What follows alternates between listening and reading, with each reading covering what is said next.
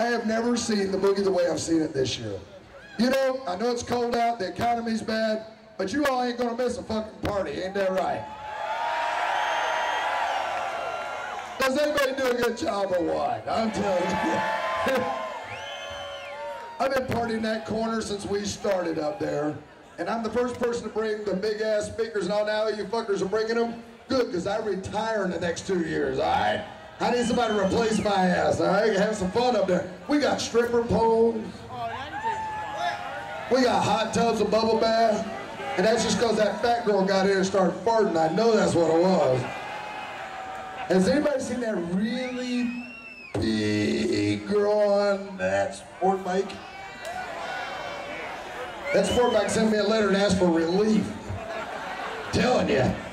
First time I seen a sport bike with two sets of saddlebags on the front. I was like, damn. That damn bike's got saddlebags, camel toe, and two flapping fenders off a Volkswagen. It was like ding, ding, ding, ding, ding, ding, ding, ding. That bitch gonna need two oil changes of tires and brakes. All right, here we go, boys. You ready? I'm